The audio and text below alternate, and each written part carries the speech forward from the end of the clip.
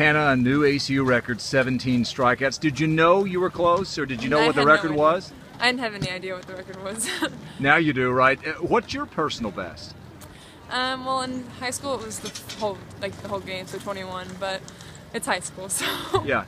Uh, what worked well today? um, my changeup, I was keeping it really low, so it worked uh, very well. And then um, my curve, I've been struggling with it quite a bit. And I talked to Coach Cruz before the game. We kind of got it figured out. So those two were the- mainly the best. Uh, weird though to have that record in a loss. Yeah. Yeah, one pitch can change a game. Yeah. Unfortunately, it left a little too high. Wh- wh- What about though the thought of, of putting your name in the record books as a freshman? Just the thought of all the great players who've been through here. well, it feels great.